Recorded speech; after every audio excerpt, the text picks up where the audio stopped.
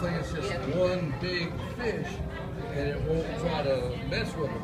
That's It's called a, it's called a bait ball, is what it is. Those are menhaden, and they're very good fish bait, I can tell you that.